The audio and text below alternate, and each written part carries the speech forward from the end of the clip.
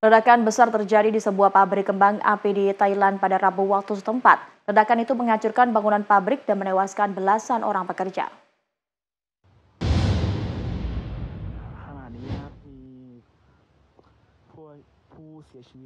Pabrik pembuat kembang api di Thailand ini luluh lantah usai ledakan besar terjadi pada Rabu waktu setempat.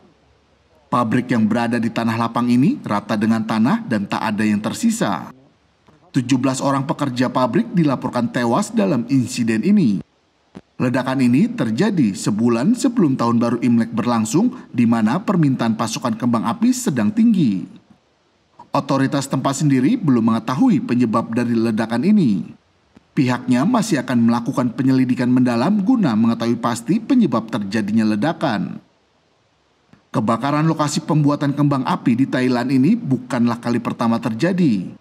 Pada Juli tahun lalu, sebuah gudang penyimpanan kembang api di selatan Thailand terbakar dan meledak.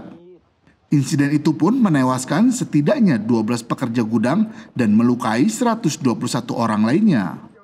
Tidak hanya itu, ledakan cukup dahsyat itu juga membuat ratusan rumah warga rusak akibat dampak ledakan. Nusantara TV melaporkan.